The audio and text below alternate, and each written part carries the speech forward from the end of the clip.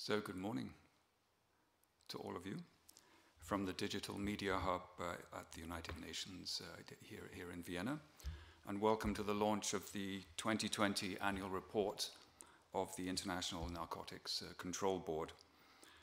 I'm the director of the United Nations Information Service here, and welcome to those in the room and those joining us over Teams or through our live stream on our website and uh, our YouTube channel. I will shortly hand over to the president of the International Narcotics Control Board, Cornelis de Joncheere, uh, to present the report and then take journalists' uh, questions. So, welcome to you, Mr. President. Uh, journalists in the room uh, can ask their questions in, in the good old fashioned way by raising their hands, and we have a boom microphone which my colleague uh, Janine will bring around. And uh, journalists following on Teams can, They can submit questions. You can submit questions through the chat, and I will then be able to read them out uh, for the President to, to answer. And please do let me know when you're writing in the chat uh, which media organization you're from. And with that, Mr. President, it's a pleasure to have you here. We're suitably distanced, as you can see, and the floor is yours.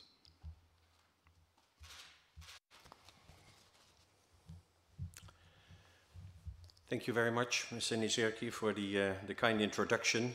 So welcome all to the uh, launch of the annual report of the International Narcotics Control Board for 2020. Um, and that also includes our precursors report for 2020.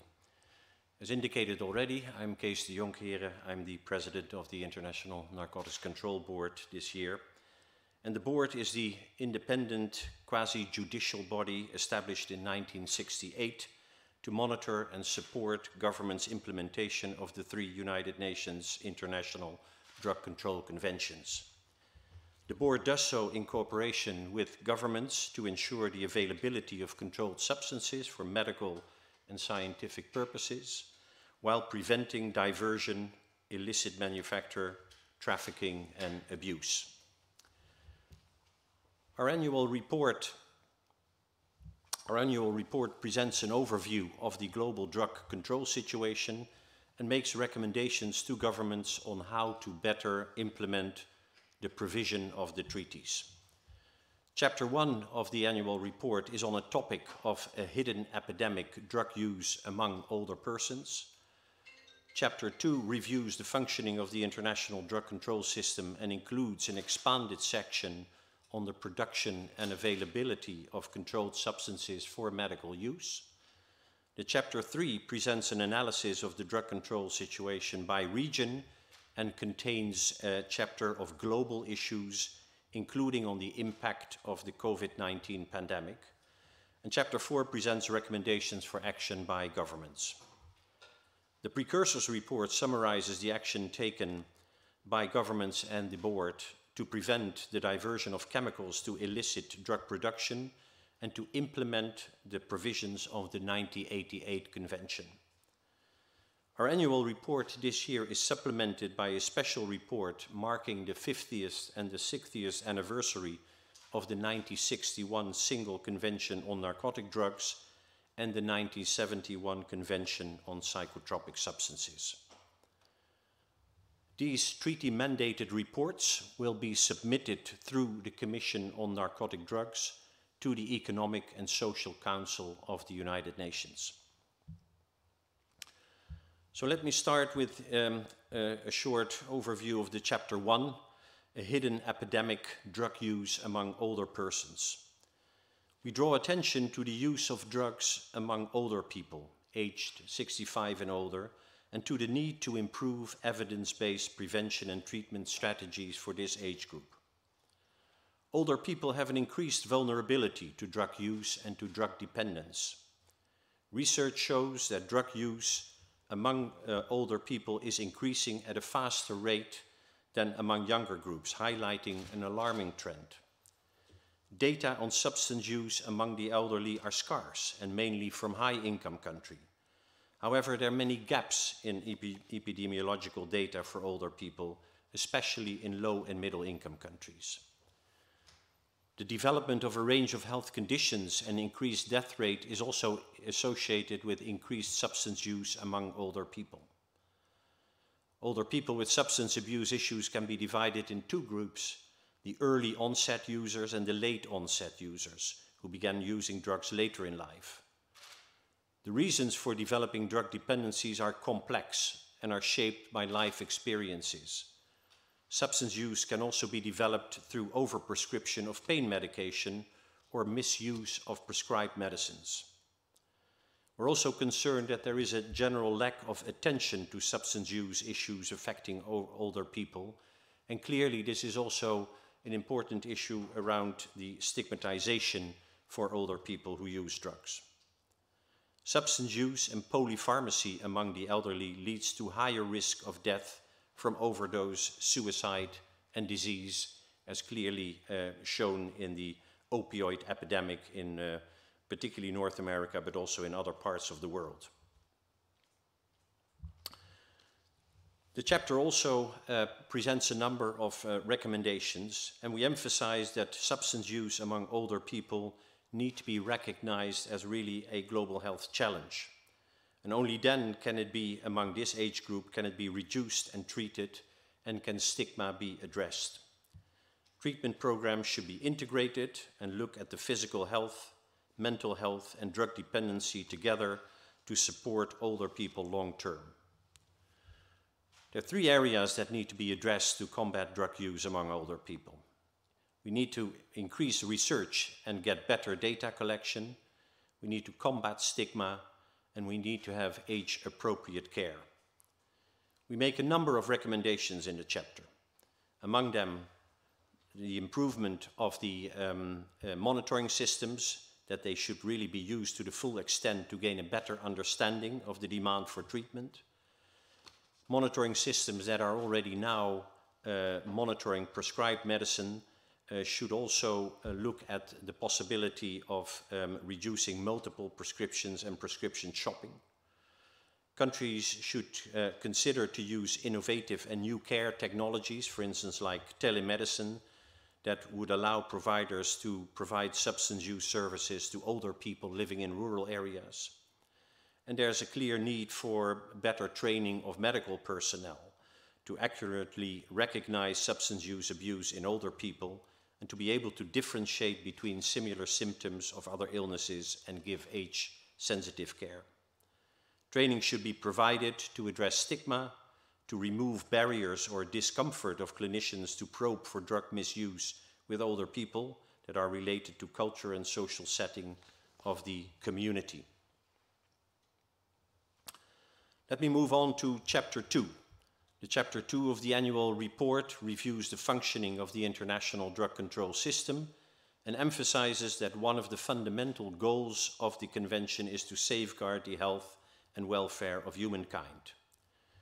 We focus on the promotion of the consistent application of the treaties, and under this, um, we look at the number of countries, almost all countries in the world have uh, adhered, have ratified and acceded to the conventions, we report shortly on the, uh, the scheduling of new substances in the last CND of March 2020.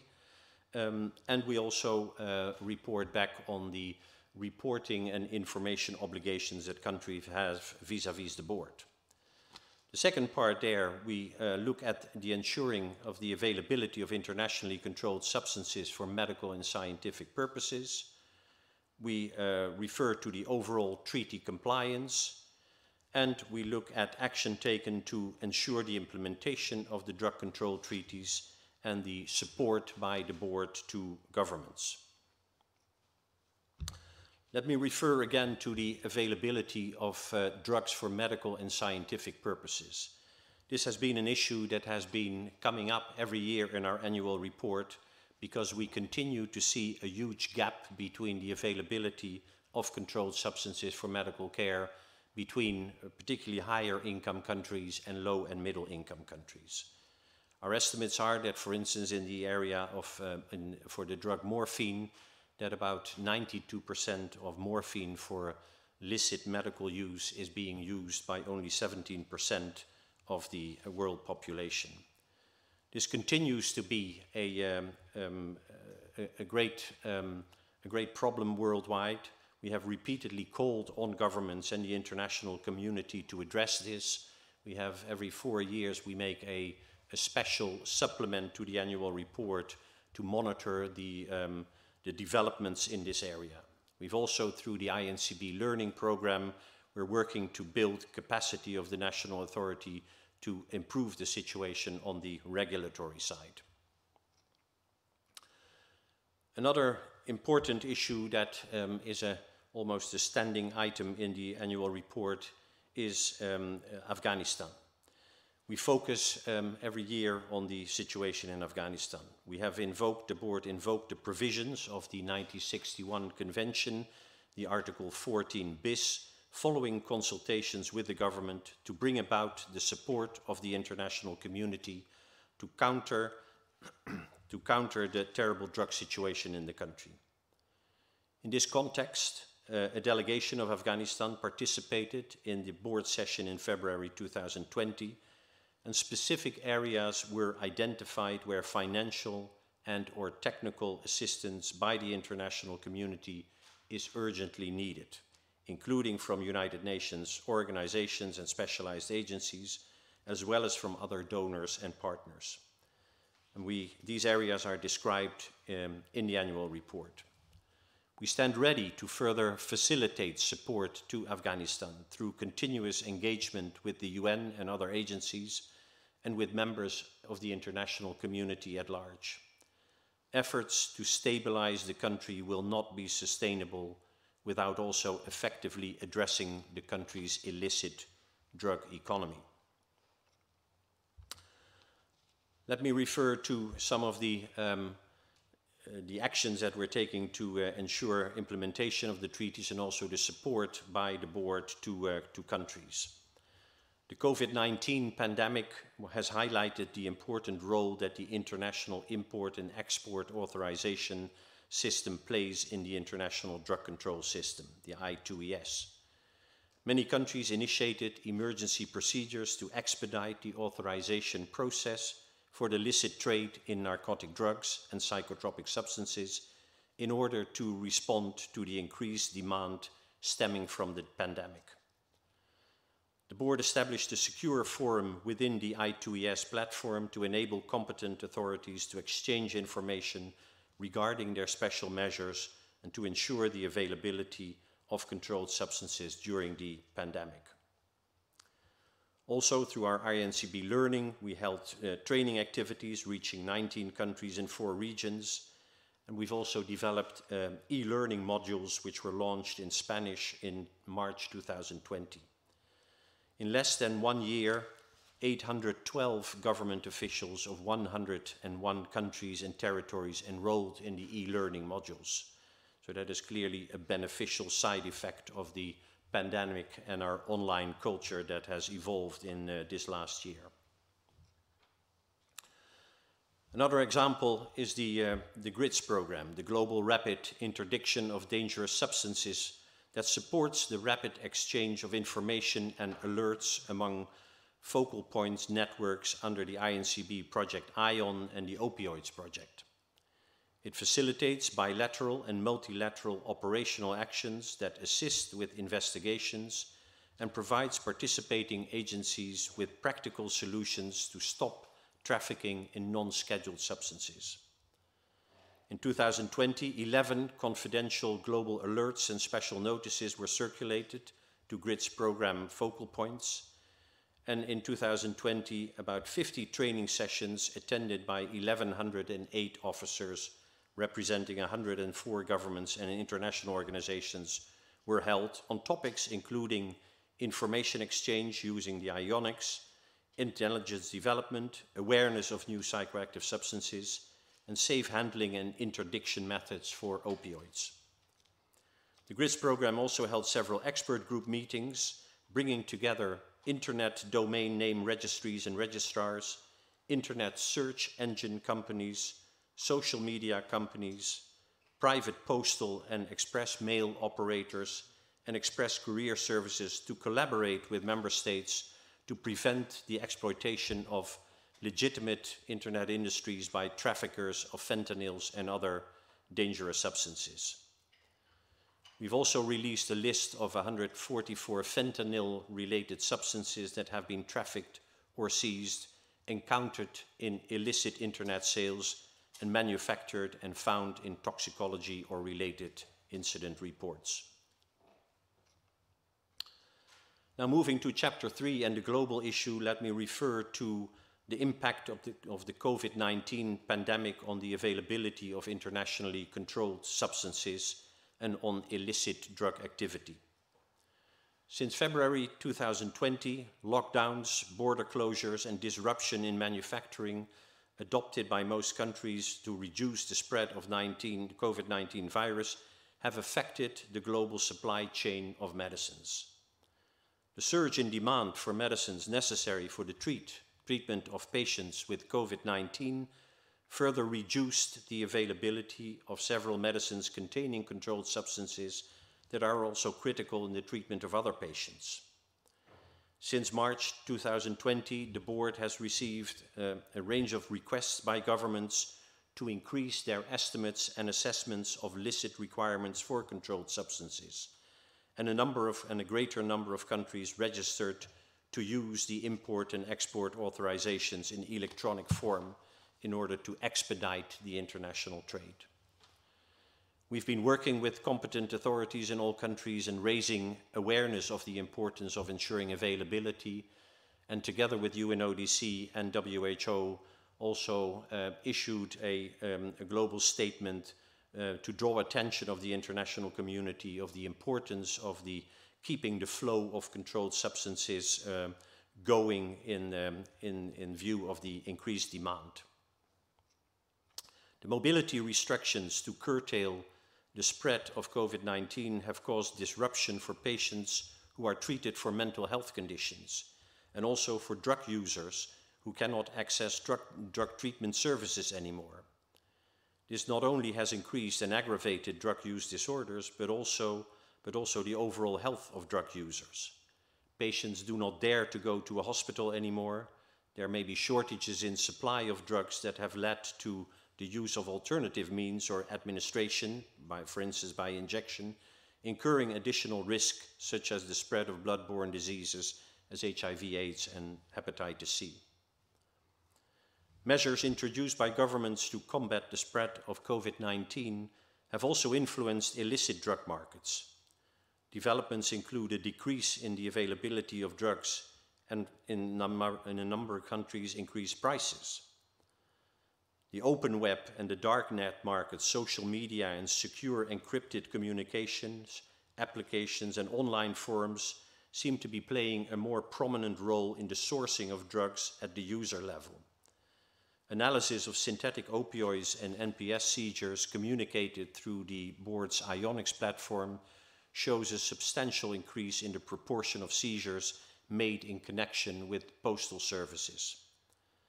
We have hosted a series of webinars, discussion sessions, and expert groups meeting, again to raise awareness of the new trafficking trends and to support governments in uh, curbing these trends and finding solutions to address these new trafficking routes.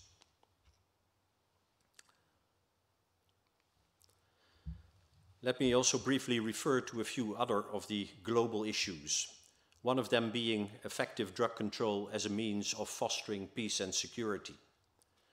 We note that under the pretext of the, the war on drugs, policies in some countries have led to disproportionate and overly repressive responses without respect for due process and the rule of law.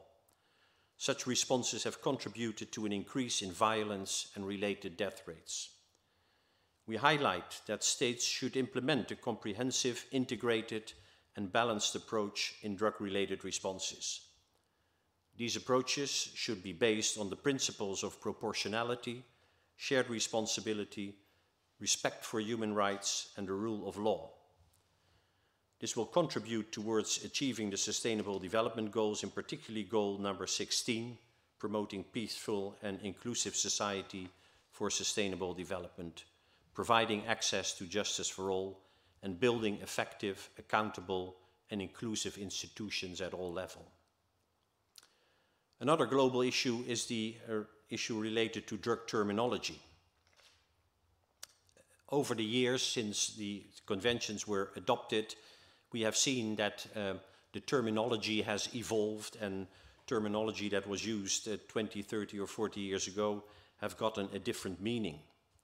We emphasize the importance of the CND Resolution 6111 entitled Promoting Non-Stigmatizing Attitudes to ensure the availability of the access to and delivery of healthcare and social services to drug user. The careful use of terminology can aid in preventing the stigmatization of drug use and dependence and promote the full protection of human rights. So we urge governments to examine their drug terminology for ambiguous usage or potentially stigmatizing effects that might have an impact on the ability of the international community to cooperate effectively on and jointly counter the world drug problem. A final issue I want to draw attention to is the genetic engineering and its implication for the cultivation of cannabis and the production of cannabis deri derivatives in the context of the International Drug Control Convention. We call upon governments to ensure that these technologies are appropriately used with respect to the international drug control conventions and the control measures that are foreseen uh, for, the, for cannabis in that respect, and to take steps that, uh, to prevent the misuse of that technology in the illicit production of drugs. Chapter 3 also includes an analysis of regional developments, so for each region there's a short overview of developments there, but due to time limitations I will not cover that now. Let me move to the chapter 4 that has, uh, contains the recommendations to governments, uh, to the United Nations and to other relevant international and national organizations covering a wide range of areas. The recommendations stem from the chapter 1, 2 and 3 and cover the use of drugs among older people, um, issues on cannabis, the non-medical use and the cultivation for medical purposes, the importance for treaty adherence, again, a series of recommendations related to the availability of sub controlled substances, including during the COVID-19 pandemic, um, a call for the respect to, uh, of human rights and um, the, the, proportionality and the rule of law when dealing with um, drug control policies, the importance of prevention and treatment, um, uh, a wide call again to improve data collection and reporting um, in all regions on the drug control situation. And then a series of reporting of um, recommendations also in the area of uh, precursors, which I will come to as well when I cover the precursor report.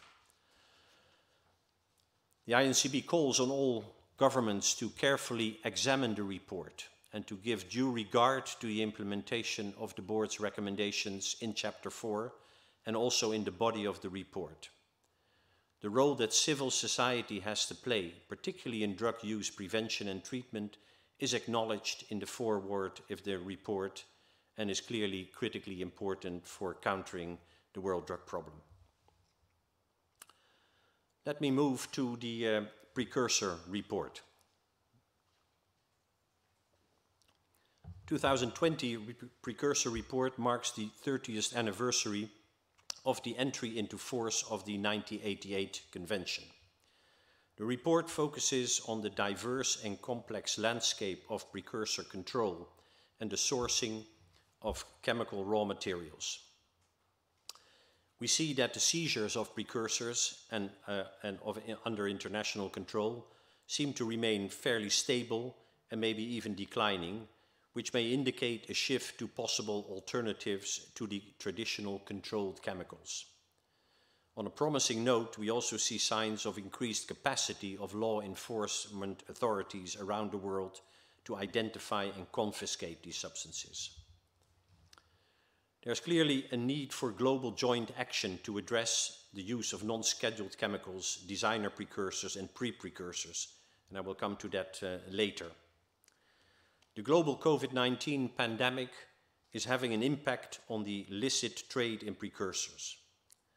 The impact on trafficking is largely due to the general disruption in the international movement of cargo. Two aspects of concern with lasting implications are one, the customized manufacture of chemical intermediates of active pharmaceutical ingredients that may be immediate precursors of narcotic drugs or psychotropic substances as a result of governmental efforts to avoid future supply chain disruptions. And secondly, the targeting by traffickers of manufacturing companies which have economic difficulties caused by the pandemic. The pandemic may also have impacted on the reporting by governments to the INCB. An analysis of global precursor trends will require more detailed reporting, in particularly under the circumstances of seizures, the suspected origin or points of diversion of the substances involved.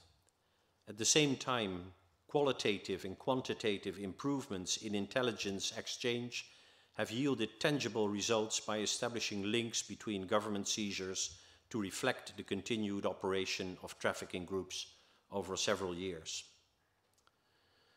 Diversion um, from illicit trade channels is now largely domestic, and there's a need for an increased focus on domestic controls that will help to curb attempts by traffickers to target legitimate chemical and pharmaceutical manufacturers to obtain chemicals for illicit purposes.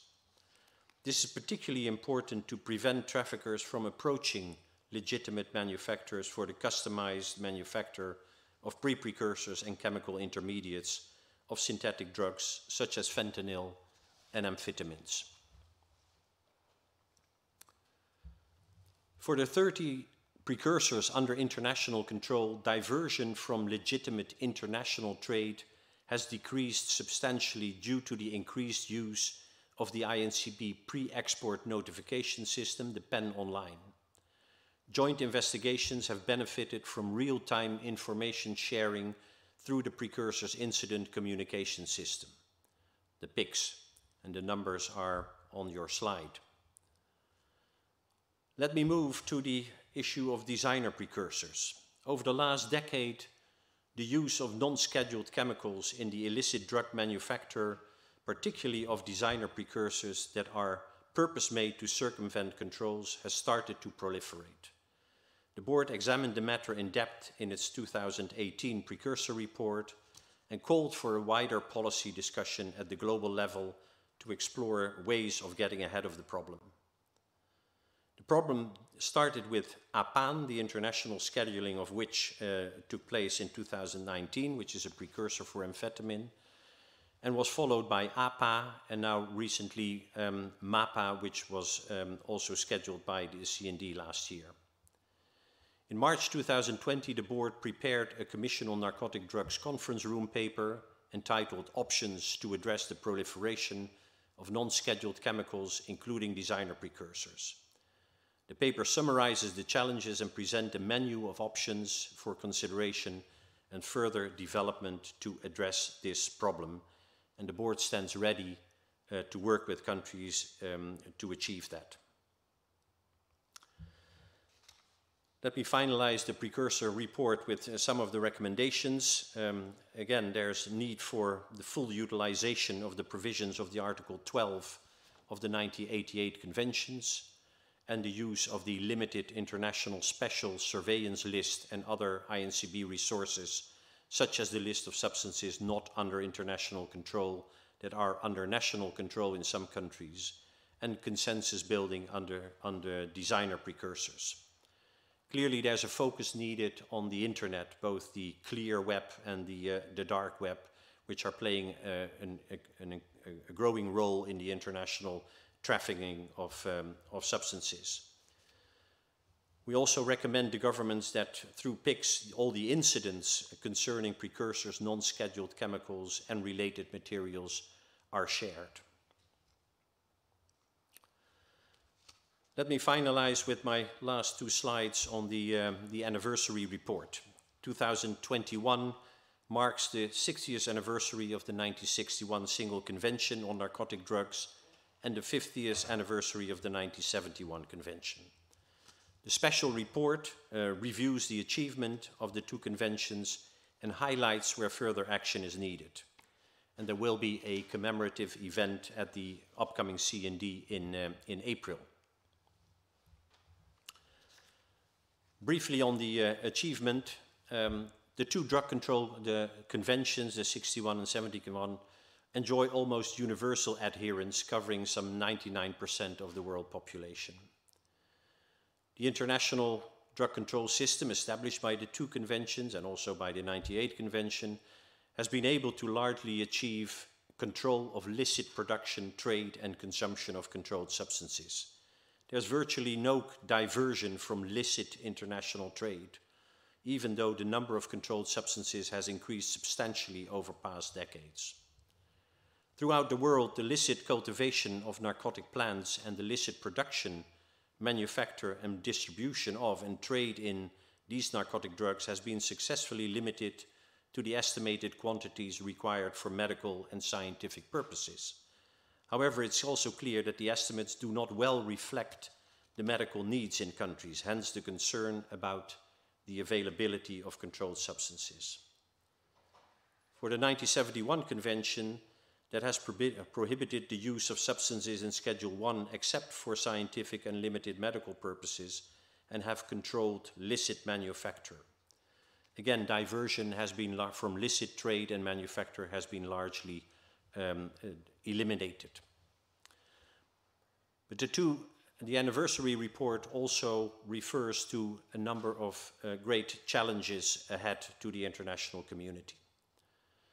Main challenges are the, the implementation of the obligations under the conventions and their ability to ensure the availability for medical and scientific purposes while preventing diversion, illicit production, trafficking and abuse. The availability, as indicated already, is not satisfactory at the global level and will need further attention and energy to address that. In many parts of the world, prevention initiatives are insufficient or lacking. Treatment provision is poor, and there are insufficient mechanisms to combat stigma and foster social reintegration.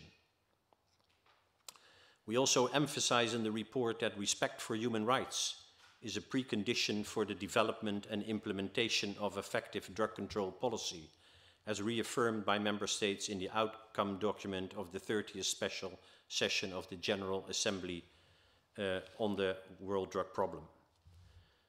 Continuing illicit cultivation of opium poppy, coca bush and drug trafficking threaten political, economic and social stability in a number of countries where corruption seriously hinders drug control efforts. We also see that there is still considerable imbalance between law enforcement measures and drug prevention and treatment interventions and an artificial separation of public health objectives and security objectives in drug control policies.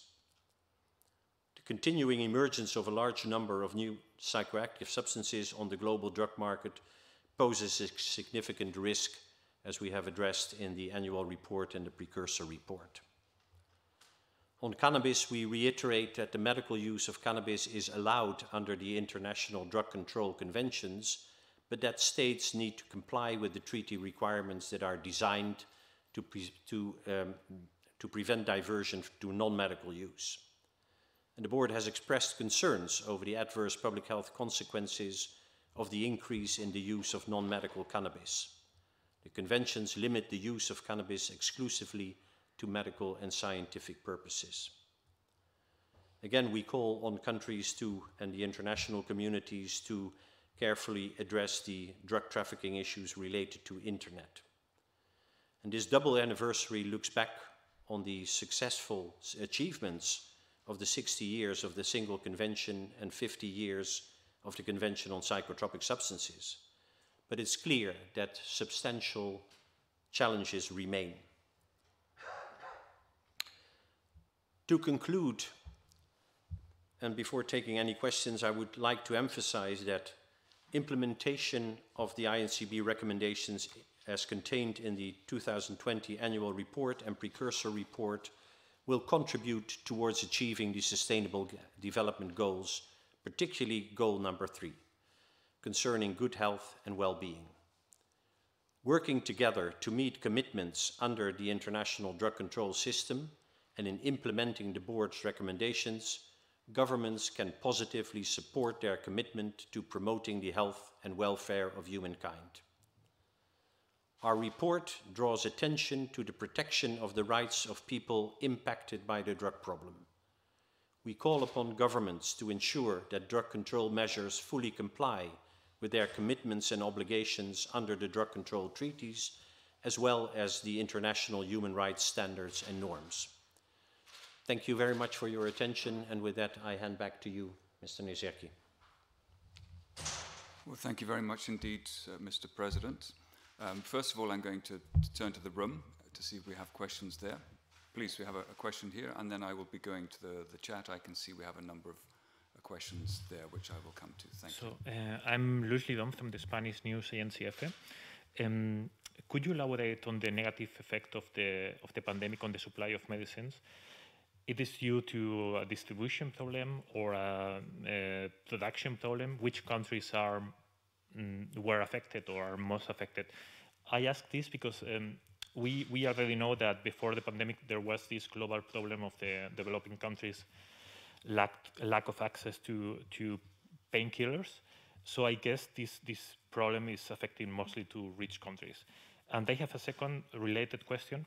Are you concerned that pharma companies are focused only on the vaccines right now and are stopping to produce other essential medicines that are not so profitable right now? Thank you.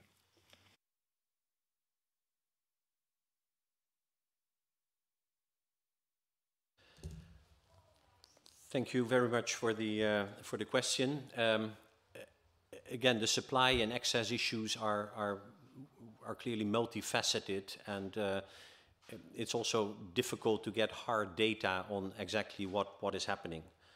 But there are clearly a number of factors. In the, in the start of the, uh, of the pandemic, um, uh, clearly uh, with the, uh, the initial border closures and some countries taking measures to, uh, to limit exports of, of, of drugs and the overall disruption in cargo, um, a number of the, the world supply chains that are very often working on, on a sort of a just-in-time um, mechanism were clearly you know, not capable of bringing in sufficient quantities to, to different parts of the, uh, of the world. So that, that's one of the, one of the problems, um, simply the, the, the, disruption of the, of the supply system.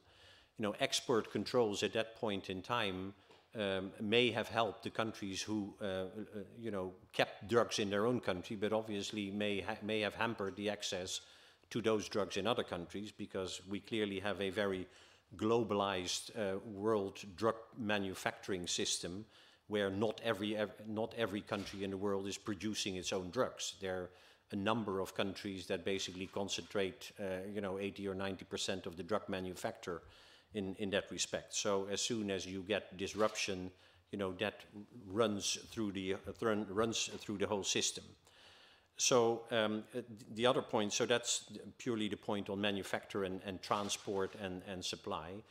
Um, the other point is, of course, that with the um, uh, with the, the, COVID situation and the, the, the, rapidly increasing number of patients that got hospitalized and got uh, into intensive care units, where uh, the demand for certain type of uh, of drugs, including certain drugs that that uh, contain controlled substances, was rapidly going up. So the, the, normal, the normal supply would not be able to, to satisfy that demand, which also meant that some people who um, you know, were, were using those drugs for other diseases may have had difficulties in getting access to that.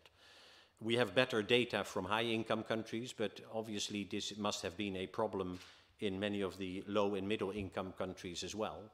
And um, as we've seen in many parts of the world, and as we continue to see, um, the, the regular health care for patients who have other health conditions than, than COVID has really been, um, you know, uh, underestimated and, and under, um, has, has been underrepresented in this whole problem. But both in terms of uh, people who suffer from mental health conditions who, offer, who often have difficulty in access those services, um, simply on one hand because of COVID, but and when they access the services, they may have experienced a situation where drugs that they would normally be using are not available anymore because they have been diverted to other patients or to other countries.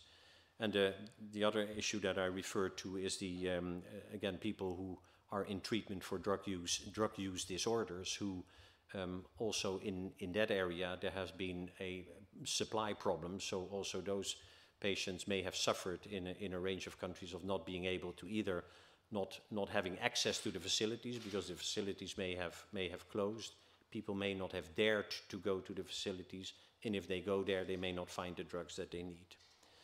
In terms of drug development, um, yes, there is an enormous, um, um, there's been an, an, an, incredible and actually an, an enormous achievement in developing vaccines for COVID basically within a year. That has been really a, a, stunning achievement of the international community, both pharmaceutical companies, but also with a massive investment of, uh, of governments with, with public money.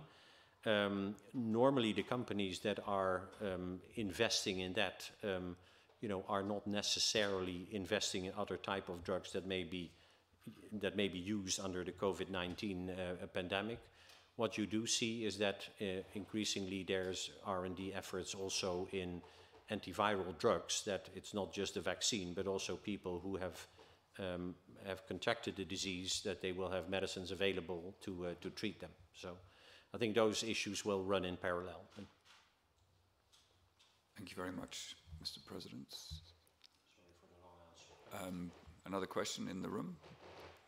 So, right, let me go to uh, the, the chat here for questions from um, uh, journalists who are following on, on Teams. I have uh, two related questions from Heloisa um, Brogiato.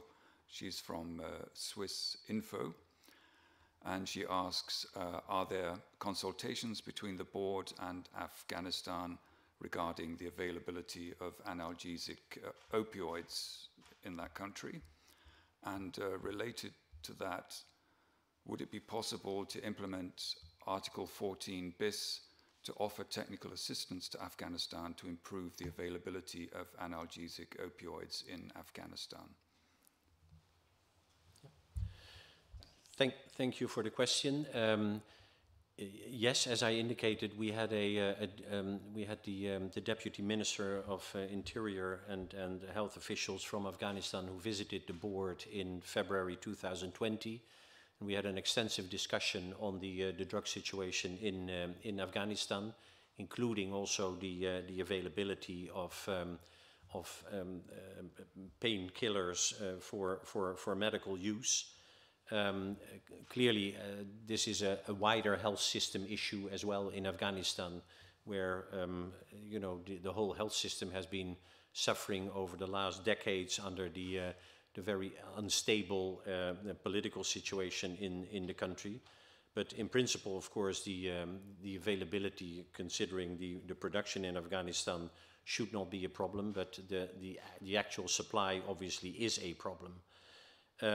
On the Article 14 bis and our call on the international community to support Afghanistan in, um, in addressing the drug problem. We have repeatedly uh, called on the international community to, uh, to support the country in, uh, in this area. Um, clearly, the, um, the political situation and the international security situation in, um, and the national security situation in Afghanistan continues to be very precarious and um, we, we remain concerned that the international community is not sufficiently addressing this problem and that the connection between um, the drug economy, the overall, the, the country's drug problem and the security and the political stability situation is, is clearly not recognized sufficiently and uh, therefore we continue to call on the international community to support the country and address this issue um, uh, because without that, uh, the political situation will not stabilize. But Thank you very much. So we have a, another question and uh, two questions. Uh, forgive me, it's a little bit on the long side, but I think uh, I, will read it out for you. This comes from Soft uh, Secrets, and this is um, based in the Netherlands and Spain for this particular uh, reporting that they wish to do. They say, thank you for the detailed presentation. We have two related questions uh, with regard to cannabis for medical purposes.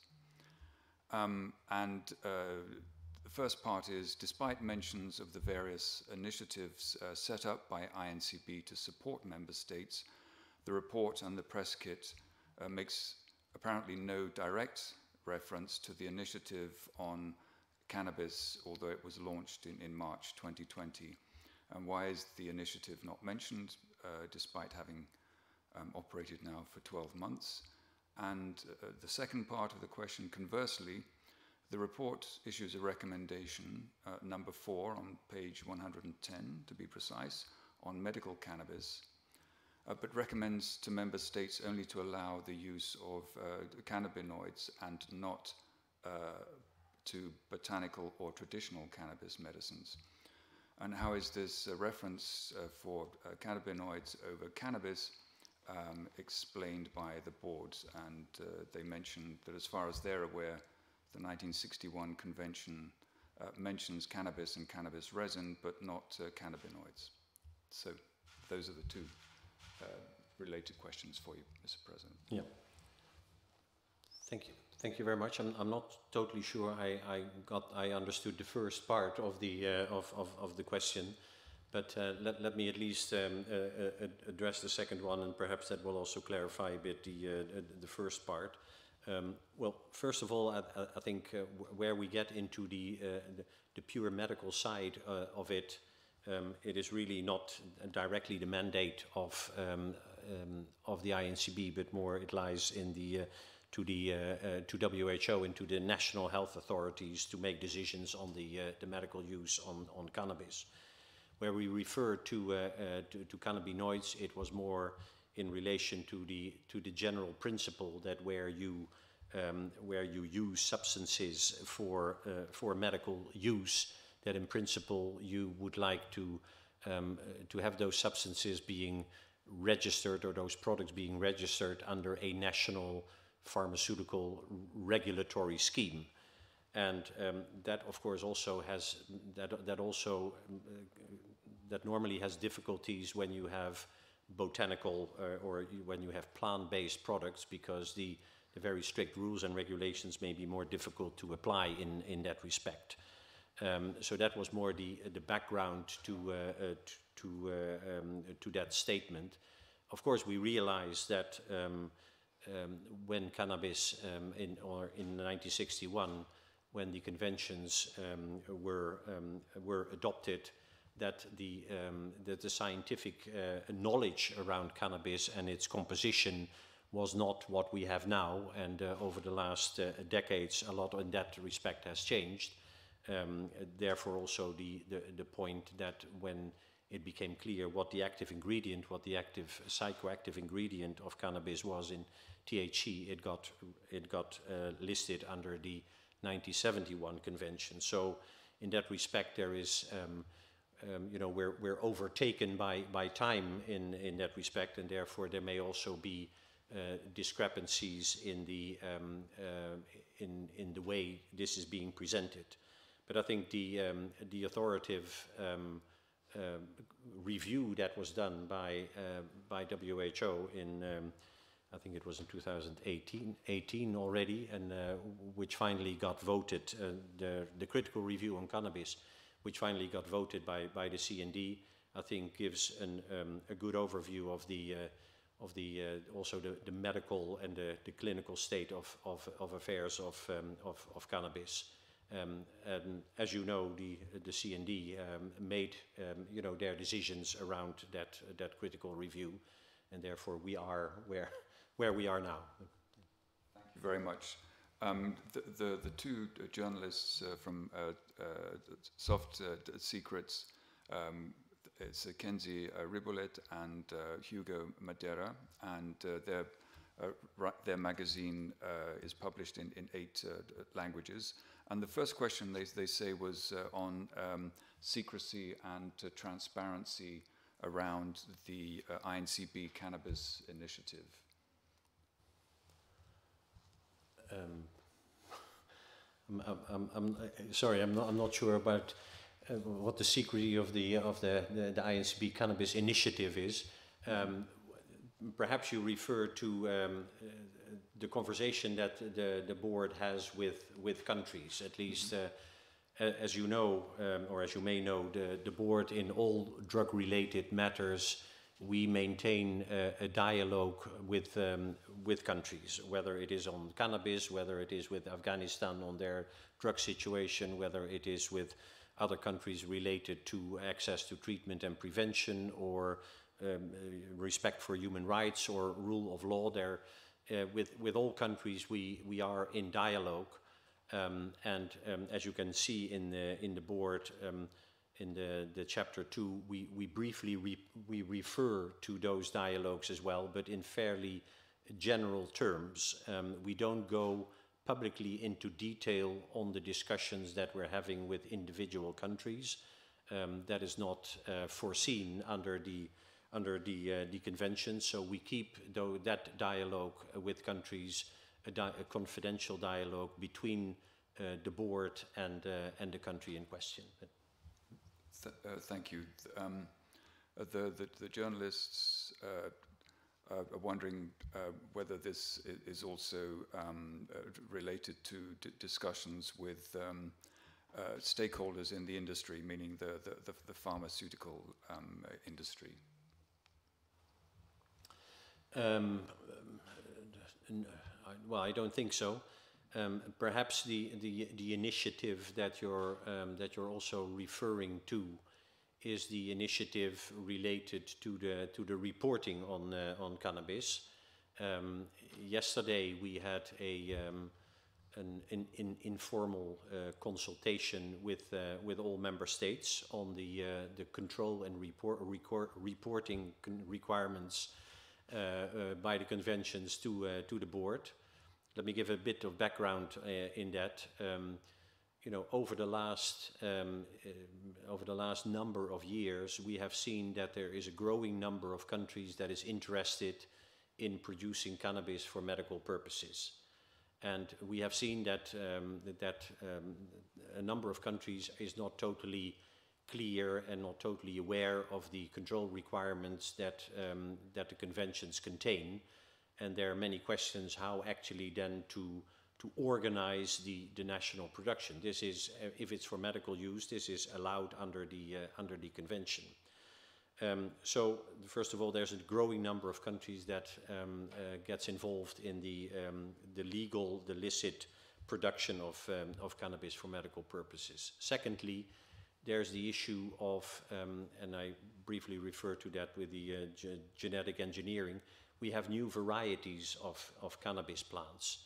So um, when you go back to the 1961 conventions, um, uh, cannabis is clearly defined there, but uh, for instance, we, the, the, um, the, new varieties that we have now from cannabis, for instance, may, may contain uh, psychoactive substances um, in the leaves of the plant, which was not foreseen in the 1961 convention.